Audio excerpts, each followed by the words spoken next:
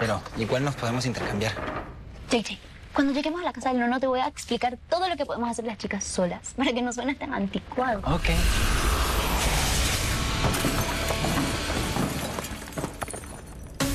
No. ¿Qué fue eso?